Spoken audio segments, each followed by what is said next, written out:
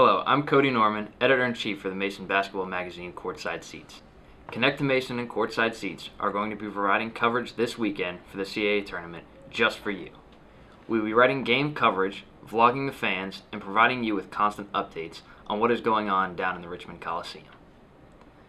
To keep up with the tournament, be sure to go to courtsideseats.onmason.com and connect2mason.com this weekend. You can follow us on Twitter at, at Mason underscore courtside and at Connect2Mason, and also fan our Facebook page for more information. We'll see you there.